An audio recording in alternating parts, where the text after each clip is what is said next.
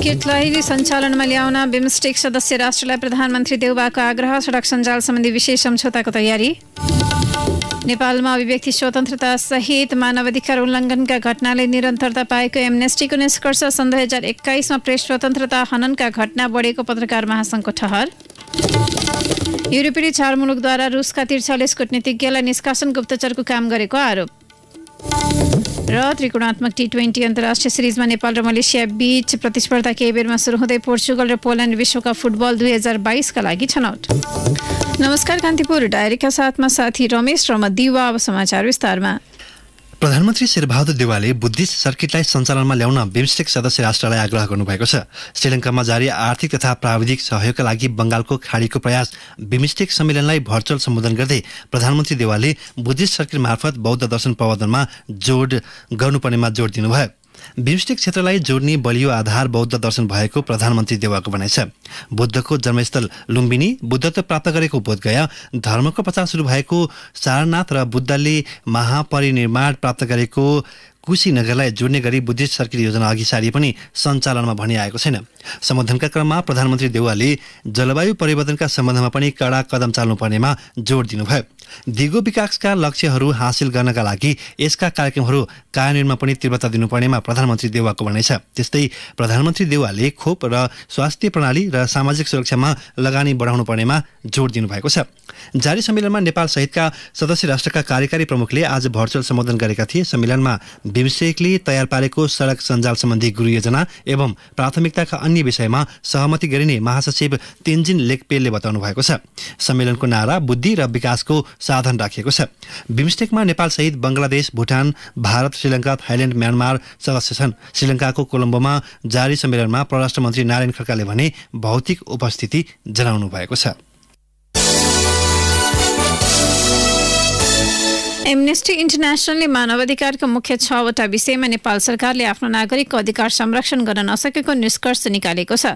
So संस्थाले विश्वभरको मानवाधिकारबारे सार्वजनिक गरेको वार्षिक प्रतिवेदनले नेपालमा व्यक्ति र भेला हुने स्वतन्त्रता सहितका क्षेत्रमा मानवाधिकार उल्लङ्घनका घटनाले निरन्तरता पाएको ल्याएको हो। एमनेस्टीले नेपाल कार्यदलले जारी गरेको वक्तव्यमा नेपालमा सत्य न्याय र परिपूरणको अधिकार लैङ्गिक विभेद आदिवासी जनजातिको अधिकार स्वास्थ्य अधिकार तथा यातना र अन्य दुर्व्यवहारका विषयमा अधिकार उल्लङ्घनका घटना भइरहेका छन्। एमनेस्टीको प्रतिवेदनमा नेपालमा विभिन्न मितिमा भएका मानवाधिकार उल्लङ्घनका घटनाहरू समेटिएका छन्। कोभिड नाइन्टिनको दोस्रो लहरले नेपालको स्वास्थ्य सेवा प्रणालीलाई नै धरापमा पारेको र स्वास्थ्य सामग्रीको चरम अभाव भएको विषय समेत एमनेस्टीले आफ्नो प्रतिवेदनमा उल्लेख गरेको छ। यस्तै मुलुकी अपराध संहितामा व्यवस्था गरिएको बलात्कार सम्बन्धी सीमित हदम्यादको व्यवस्थाले पीडकहरूलाई दण्डहीनता प्रदान गर्नु मानवाधिकार विपरीत भएको एमनेस्टीले जनाएको छ।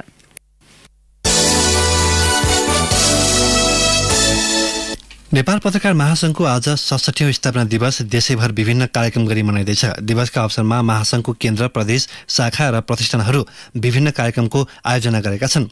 महासङ्घको केन्द्रीय कार्यालयले आज प्रभात फेरि पत्रकारहरूको स्वास्थ्य परीक्षणका साथै पत्रकार तथा सञ्चार माध्यममा कोभिड नाइन्टिनको प्रभावबारे छलफलको आयोजना गरेको छ।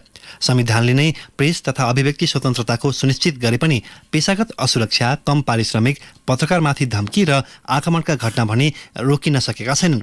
सन् दुई हजार एक्काइसमा अघिल्लो वर्षभन्दा प्रेस स्वतन्त्रताका हननका घटना बढेको पत्रकार महासङ्घले जनाएको छ। सन् दुई हजार बिसमा बाहन्नवटा प्रेस स्वतन्त्रता हननका घटना भएकामा अघिल्लो वर्षसम्म आइपुग्दा बैसठीवटा पुगेको हो। विशेष गरी भ्रष्टाचार अनियमितता लगायतका समाचार लेख्दा वा प्रसारण गर्दा विभिन्न पक्षबाट धम्की आक्रमण र दुर्व्यवहार लगायतका बैसठी घटनाबाट एक सय नब्बेजना पत्रकार पीडित भएको र चार सञ्चार माध्यम प्रभावित भएको महासङ्घले जनाएको छ। यस्तै सङ्घ र प्रदेश र स्थानीय सरकारबाट प्रेस विरोधी प्रावधान सहितका सञ्चार सम्बन्धी विभिन्न कानुनहरू बनाउने र संसदमा दर्ता गर्ने काम पनि भएको छ।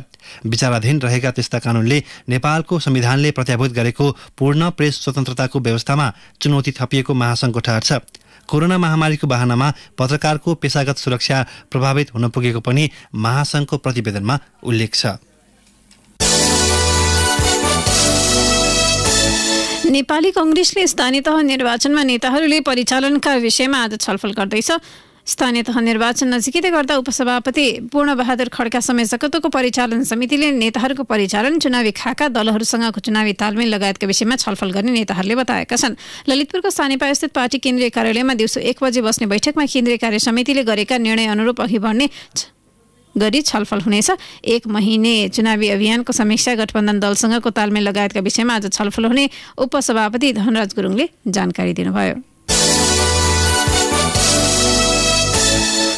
अमेरिकाले नेपालका लागि राजदूतमा डिन थम्सनलाई मनोनित गरेको छ। अमेरिकी विदेश मन्त्रालयका उच्च अधिकारी थम्सन मध्य तथा दक्षिण एसिया मामिलामा विभागमा कार्यरत हुनुहुन्थ्यो। थम्सनको मनोनयनलाई अमेरिकी माथिल्लो सदन सिनेटले अनुमोदन गर्नुपर्नेछ। सन् दुई हजार अठारको अक्टोबरबाट नेपालका लागि राजदूत नियुक्त ऱ्यान्डीबेरीको कार्यकाल सन् दुई हजार बाइसको अक्टोबरमा सकिँदैछ। कान्तिपुर डायरीमा अब ब्रेकको पालो। राष्ट्रिय प्रसङ्ग युरोपेली चार मुलुकले त्रिचालिस जना रुसी कूटनीतिज्ञलाई जासुसी गरेका आरोपमा निष्कासन गरेका छन्। आयरल्यान्ड बेल्जियम नेदरल्यान्ड्स र चेक रिपब्लिकले मुलुकभित्रका राजदूतावासबाट त्रिचालिसजना रुसी कर्मचारीलाई निष्कासन गरेका हुन्। पोल्यान्डले गत साता रुसी दूतावासका कर्मचारीलाई निष्कासित गरेको थियो। बेल्जियमले पनि ब्रसेल्स स्थित रुसी दूतावासका एक्काइस कर्मचारी र एन्ट्रोप स्थित वाणिज्य दूतावासका कर्मचारीलाई दुई साताभित्र मुलुक छाड्न समय दिएको छ। दूतावासका कर्मचारीले कूटनीतिज्ञको भेषमा जासुसी काम गरिरहेको नेदरल्यान्ड्सले आरोप लगाएको छ। कूटनीतिज्ञको अन्तर्राष्ट्रिय मान्यता विपरीत काम गरेको भन्दै पोल्यान्डले पैँतालिसजना रुसी कूटनीतिज्ञलाई मुलुक छाड्न भनेको हो। बुल्गेरिया लिथियनिया लात्विया र अस्ट्रोनियाले पनि बिसजना रुसी कर्मचारीलाई गत साता देश निकाला गरेका छन्।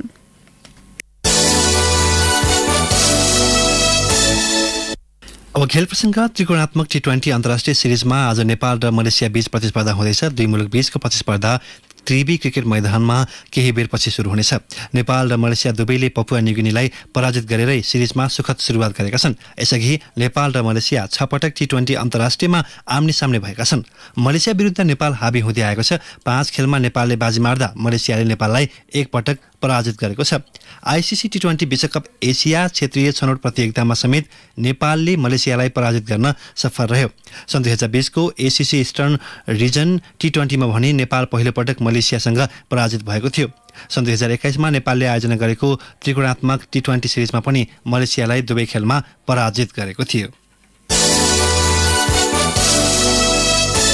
पोर्चुगल र पोल्यान्ड विश्वकप दुई हजार बाइसका लागि छनौट भएका छन्। पोर्चुगलले नर्थ मेसेडोनियालाई दुई शून्य गोल अन्तरले पराजित गरेको हो। पोर्चुगलका लागि दुवै गोल ब्रुनो फर्नान्डेसले गरे बत्तीस मिनटमा पहिलो गोल गरेका फर्नान्डेसले पैँसठी मिनटमा दोस्रो गोल गर्दै टोलीलाई विश्वकपमा पुर्याएका हुन्। इटलीलाई विश्वकपमा रोक्न सफल नर्थ मेसेडोनिया पोर्चुगललाई सँग स्तब्ध भयो। छनौटसँगै पोर्चुगलका स्टार क्रिस्टियानो रोनाल्डोले पाँचौँ पटक फिफा विश्वकप खेल्ने भएका छन्।